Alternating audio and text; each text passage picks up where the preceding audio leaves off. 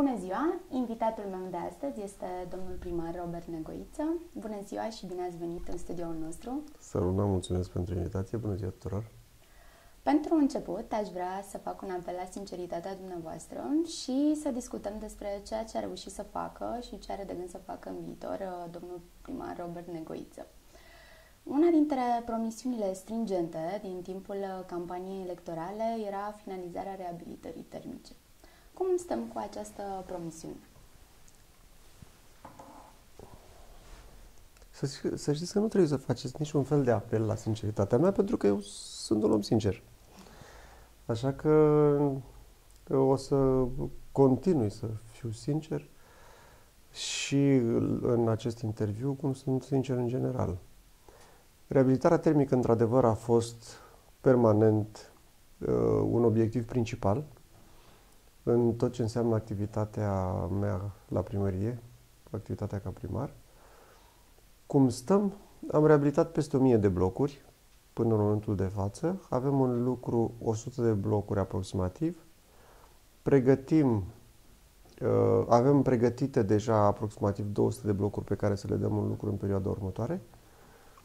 Și suntem foarte focusați pe cele aproximativ 500 de blocuri care au mai rămas. Din nefericire, în anumite situații, nu puține, avem dificultăți cu asociațiile de proprietari care nu-și fac treaba. În sensul în care ne ducem noi și îi stimulăm și ajutăm și îi împingem de la spate să completeze documentația, fără de care, documentația din partea dânșilor, fără de care nu se poate reabilita. O altă promisiune din uh, timpul campaniei electorale este finalizarea sistemului inteligent de colectare a gunoiului. Cum se realizează salubrizarea în uh, sector în acest moment? Aș vrea să mai spun un lucru despre reabilitare termică și după a trecem la tema de salubritate, uh, zona de salubrizare, mă rog.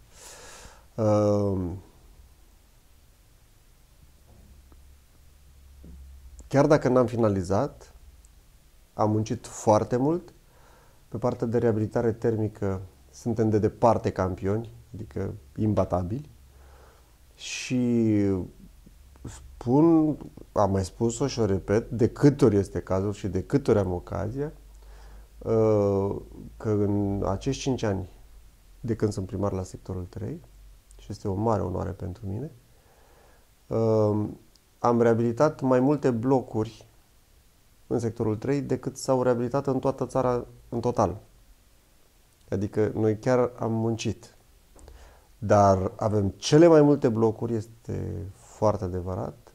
Și nu doar că sunt multe, sunt și foarte mari. Și cu dificultățile de rigoare. Suntem focusați și sperăm, sper ca până la sfârșitul acestui mandat, nu știu dacă neapărat le terminăm, dar să fim destul de aproape de finalizare nu am o certitudine pentru că sunt aspecte care nu depind de noi. Ca de exemplu documentele de la asociațiile de proprietari.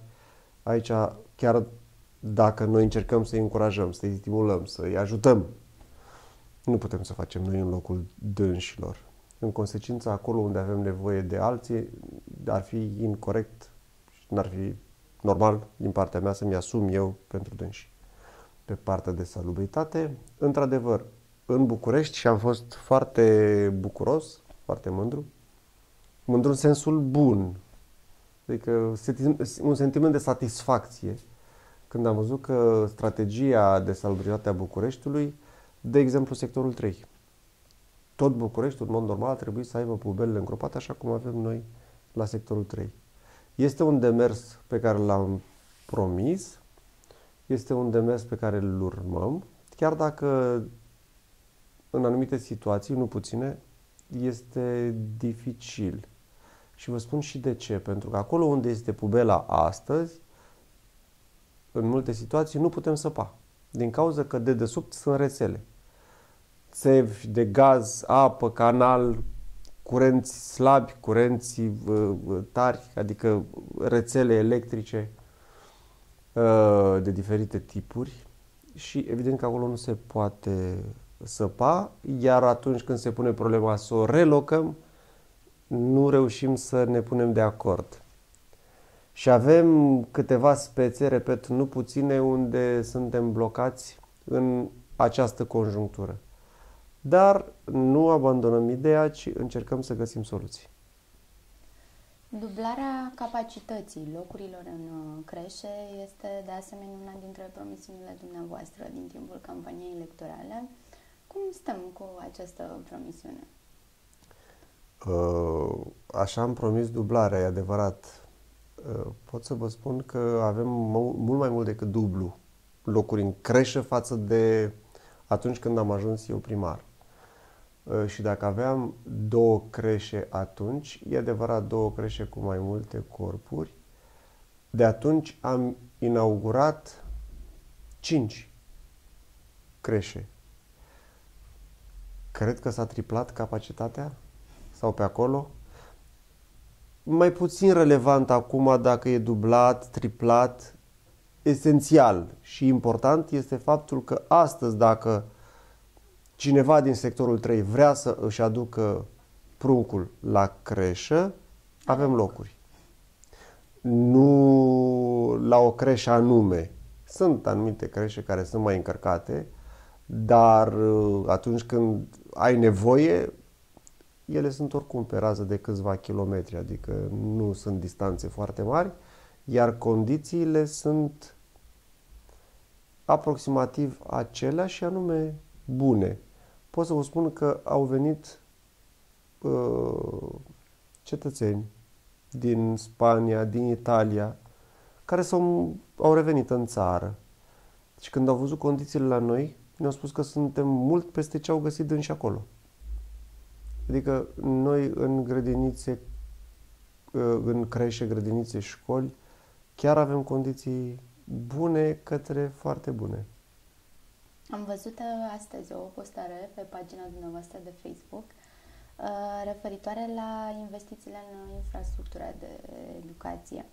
O să iau ca referință școala 195, care este cea mai dotată, cea mai frumoasă, practic mândria administrației dumneavoastră. Uh, cu toate acestea, știm că ați inaugurat un bazin de not în cadrul școlii. În momentul de față este nefuncțional, din câte știu eu. În contractul inițial erau prevăzute câteva chestii aberante, cum ar fi gratuități pentru angajații primăriei, în timp ce elevii aveau o gratuitate de până 50%. Când vor beneficia elevii de această investiție spectaculoasă? La ce contract vă referiți? La contractul acela de funcționare a bazinului de not, în care se prevedea în regulament că angajații primăriei au gratuitate. Nu știu exact la ce uh, vă referiți, atâta vreme cât noi n-am avut niciun contract. Acum suntem în situația să semnăm un contract cu o societate care a câștigat licitația, dar din cauza faptului că în Consiliu hotărârea a trecut, avem o mică problemă pe partea asta. Uh, nu știu exact la ce vă referiți, cu toate că, uh, haideți ca să ne înțelegem, haideți să nu ne mai raportăm la oamenii din primărie ca la niște oameni răi, chiar dacă ei nu sunt, la nu sunt toți la nivelul pe care ne-l dorim, chiar dacă mai avem multe lucruri de îmbunătățit, dar, Eu uh, spun ce era stipulat în contract. În contract. Inițial. Da. Era una din prevederile din uh, contract. Mm, exact la ce vă referiți? Nu știu, atâta vreme cât noi n-am avut contract. Noi nu avem contract acolo. Ori, într-un contract inexistent nu poate să fie niciun fel de referire. Repet, n-am avut niciodată niciun contract referitor la bazinul de not de la școala 195. Ați făcut referire la dotările și la felul în care arată școala 195. Pot să vă spun că toate școlile din sectorul 3, cu câteva excepții care sunt în bei sau au fost în bei până recent, sunt toate la același nivel. Sunt toate pe un anumit standard. Adică toate sunt făcute tip. Știu că despre aceasta se vorbește cel mai mult. Este adevărat că este cea mai mare școală, cred că din București. Din București, da. 2500 exact. de elevi și e normal să fim cu grijă la o școală, la cea mai mare școală, normal că ai cea mai mare grijă. Pentru că tot ce faci acolo te raportezi la 2500 de beneficiari. Fiind elevi, cei 2500. Ok, bazinul este nefuncțional, Pentru că din moment ce noi nu avem contract și școala nu are capacitate să-l administreze, pentru că inspectoratul nu le-a aprobat, instructorii din și n-au personal calificat pentru bazin. Și atunci avem nevoie de o societate care să vină să-l administreze și care să ne și furnizeze personalul calificat. Așa că uh, sper să reușim să trecem uh, acel contract prin Consiliu sub forma pe care o doresc consilierii. Important este să ne facem treaba și să reușim ca această investiție, și aici mă refer la bazinul de not, care este în aceeași clădire cu sălile de sport. Deasupra bazinului sunt și două săli de sport uh, foarte utile care sunt evident folosite. Bazinul de sport, repet, nu-l putem nici măcar autoriza din cauza faptului că nu avem personalul calificat, nu noi, ci școala. Și nici nu poate angaja școala personal calificat. Cam... Suntem într-o conjunctură administrativă oarecum complicată, pentru că noi facem investiții, noi încercăm să împingem lucrurile înainte și sunt reglementări sau conjuncturi care nu ne ajută, ba din potrivă ne încurcă. Cam când credeți că se vor bucura elevii de această oportunitate, de această investiție spectaculoasă? În acest moment depindem în mod categoric de Consiliul Local. Când uh, va trece această hotărâre, se va semna contractul, iar uh, cei care au câștigat licitația sunt în situația în care să înceapă să facă demersuri în ideea de a respecta contractul. Adică să ne furnizeze personalul calificat, să autorizeze bazinul de not și să îl facem funcțional. El, din punct de vedere tehnic, el este în regulă. El poate fi folosit deja de un an de zile. Tot procedurile astea administrative, tot birocrația, tot legislația care a rămas destul de în urmă ne încurcă foarte mult. În cadrul aceluiași uh, proiect de modernizare a școlii, în momentul de față au rămas uh, urmele șantierului în spații tranzitate de către copii. Am văzut acolo schele, materiale de construcții, existând chiar pericolul accidentării acestora. Cât va mai dura până când această situație va fi remediată? De acolo vin. Nu știam că o să mă întrebați de chestiunea asta, dar vin fix de la școala 195. Uh, știu exact ce se întâmplă acolo. Uh, au mai avut ceva remedieri, că am avut probleme cu constructorii uh, care au întârziat cu anumite lucrări pe care trebuiau să le execute în afara clădirii. Deci s-a recepționat clădirea, dar pe partea de rețele, de utilități, am avut ceva dificultăți. La ora asta suntem cât de cât în regulă și avem deja contractul semnat cu societatea care va executa amenajarea curții școlii. Pe, vin de acolo pentru că trebuie să găsite soluții. Întotdeauna neavând situații ideale, atunci e nevoie de compromis și cineva trebuie să ia decizii. Au venit, mi-au prezentat situația și cred că am găsit soluții optime să... Sper că într-o lună, două să avem curtea școlii la școala Hamburg să fie gata. Rămânând în zona aceasta a mândrilor sectorului, Vreau să vorbim puțin și despre policlinica. De fapt, noi ne aflăm în sectorul 3 acum, nu? În sectorul 3, da, sigur. Mi se pare corect. De, aș vrea puțin să discutăm și despre policlinica Titan care, deși se bucură de un renume, acesta este, clădirea este însă cu risc, risc seismic ridicat. Când veți începe procedurile de consolidare și aici? În viața asta mai nu suntem perfecți. Ni se întâmplă să greșim. Dar de cele mai multe ori, cel puțin în activitatea mea, mi se întâmplă să trag ponoase din greșelile altora. Și greșeli mari. Cine a fost cu ideea să împartă în într-o multitudine de părți o singură clădire și vă spun acum conjunctura ce se întâmplă la Titan. Noi avem câteva spații acolo, relativ restrâns, doar câteva. Cele mai multe le are, adică mai multe decât noi le are municipalitatea, dar cele mai multe sunt date către medici, cei care își desfășoară activitatea acolo.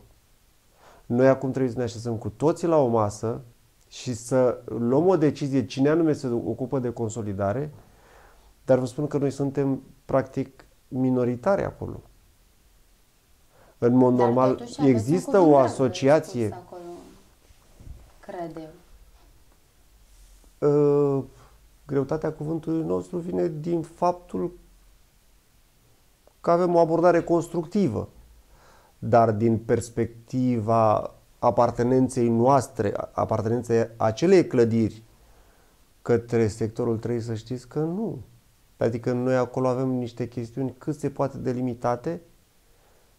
În situația asta, repet, în mod normal demersul, demersul ar trebui să plece de la Asociația Medicilor care ocupă acea clădire și care sunt entități private.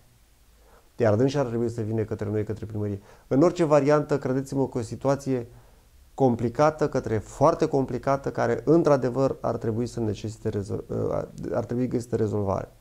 Ce pot să vă spun? Că zona publică din fața Policlinicii Titan arată total îmbunătățit deja de vreo 3-4 ani, adică mult mai bine decât arăta înainte. Iată că zonele pe care le gestionăm și zonele unde avem claritate, unde știm exact care ne sunt atribuțiile și le avem, acolo chiar mișcăm lucrurile. Unde ne ducem pe o conjunctură, juridic vorbind, mai ales nefavorabilă sau cu soluție încălcită, cum este cazul aici, uh, lucrurile sunt foarte complicate și complexe. Ați încercat să vă așezați, nu știu, la o masă și să discutați și cu medicii și să ajungeți cumva la o soluție în acest sens? Discuții cu medicii de acolo am avut nu odată, dar să știți că de ce de mai multe ori uh, subiectele de discuție au fost referitoare la acces, la parcare, la alte lucruri, nu neapărat la reabilitarea și la consolidarea clădirii. Cum comentați faptul că sectorul 3, deși are cele mai evidente progrese, cum discutați, vorbeați și dumneavoastră, și care arată cel mai bine, are niște zone subdezvoltate, unde orașul s-a întins de câțiva ani, vorbim aici de străzile Lunca Târnavei, Lunca Sătească și toate celelalte străzi adiacente care nu beneficiază nici de canalizare, nici de asfaltare. Știu că ați făcut curând o vizită acolo, avem reacții de la locuitori din acea zonă, însă care este răspunsul primăriei la aceste sectoare, canalizare și asfalt? Dar, într-adevăr, am încercat varianta cu mai multe puzuri. Principala problemă este de reglementare urbanistică. Am încercat varianta cu mai multe puzuri făcute pe uh, parcele suficient de mari, unde am avut dificultăți în a le corela unele cu celelalte. Am demarat deja puzul de sector, puzul director, care să funcționeze ca un fug, practic. Sectorul 3 este aproape dublu față de uh, un oraș mare din România. Uh, suntem într-o fază suficient, mă rog, destul de avansată cu puzul de sector. Uh, am speranța că până la sfârșitul acestui an, dacă ne obținem și toate avizele, vedeți, noi în activitatea noastră depindem foarte mult de alte instituții. Nu e suficient că noi ne zbatem. Dacă nu primim sprijinul din partea celorlalți de care depindem și fără de care nu putem să mergem mai departe, lucrurile se trenează și întârziem. Sper să reușim să avem toate avizele până la sfârșitul acestui an. Am solicitat deja toate avizele care puteau fi cerute deja de 3 luni de zile, chiar mai bine. În mod normal, la 30 de zile ar trebui să iasă avizele. Uh, nu e problemă, încercăm să îi convingem, să-i determinăm, să punem presiune să rezolvăm. În momentul în care avem puz, următoarea problemă este aceea de care constă în faptul că acele străzi la care dumneavoastră faceți referire, ele sunt prevăzute de 4 metri, pentru că acolo era zona agricolă. Drumurile agricole, ele așa sunt prevăzute de 4 metri. Noi trebuie să le lățim. Așa cum bine spuneți, am fost acolo nu odată.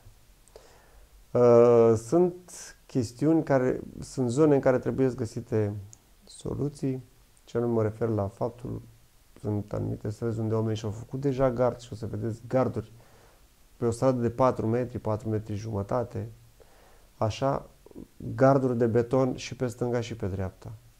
Iar oamenii nu sunt dispuși deloc să renunțe la gardurile, gardurile dânșilor, iar noi ca să autorizăm o trecere în acele condiții, nu este deloc ușor. Pe bună dreptate oamenii reproșau, dumne, astea trebuiau făcute în anii 90.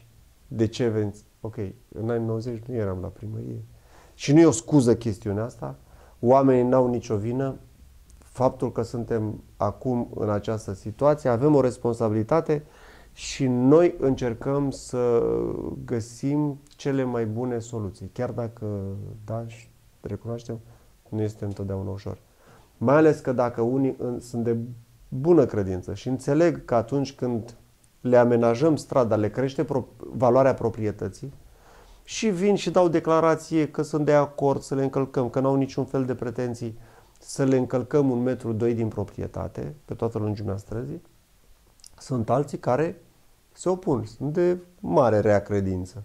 Nu, domnule, e terenul meu și nu ne lasă. Și atunci intrăm într-o procedură foarte complicată de expropriere și, mă rog, chestiuni care durează mult în timp.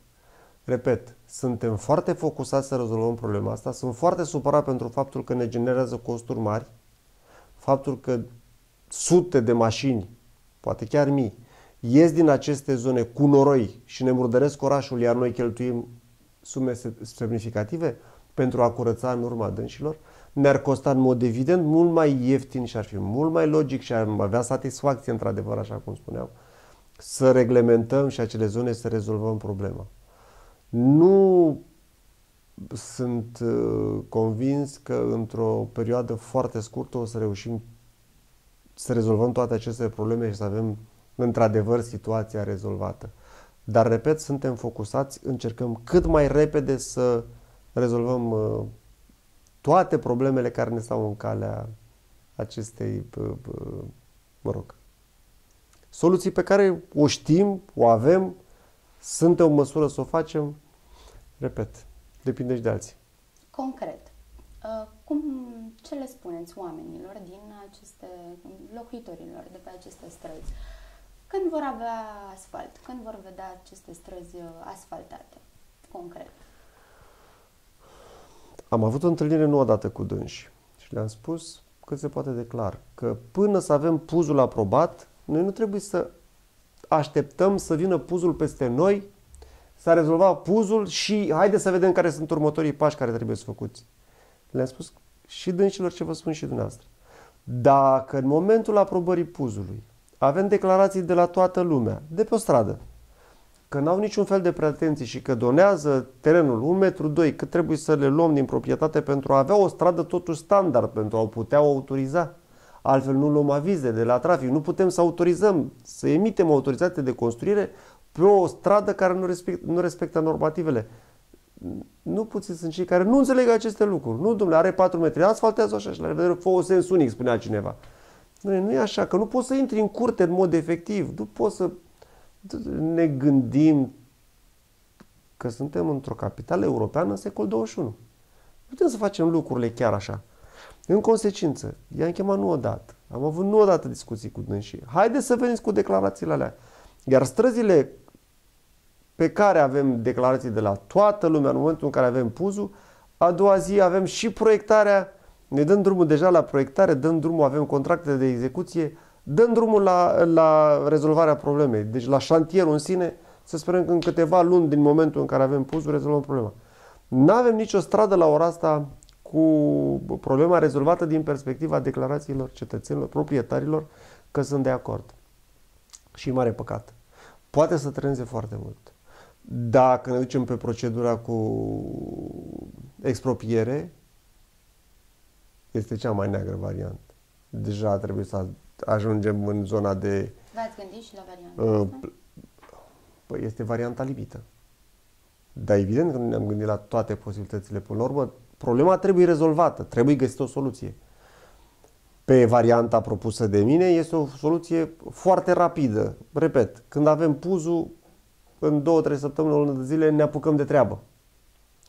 Dacă nu, în două, trei săptămâni, o lună de zile de când avem puzul, noi de-abia să facem documentația pentru expropriere unde se face dosar și trebuie hotărâre în Consiliu, trebuie bani alocați.